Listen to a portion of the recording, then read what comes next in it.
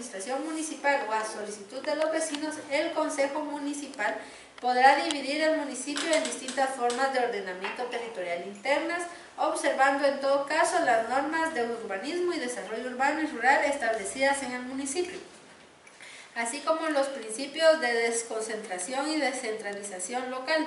La municipalidad remitirá en el mes de julio de cada año certificación de división territorial de su municipio al Instituto Nacional de Estadística y al Instituto Geográfico Nacional.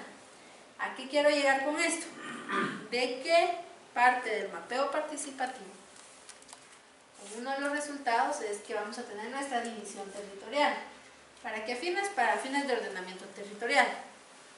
¿Qué podemos hacer ya? Emitir eso que el INE y el como parte legal que debemos nosotros como obligación emitir una constancia de la actualización de cómo está la división territorial del municipio.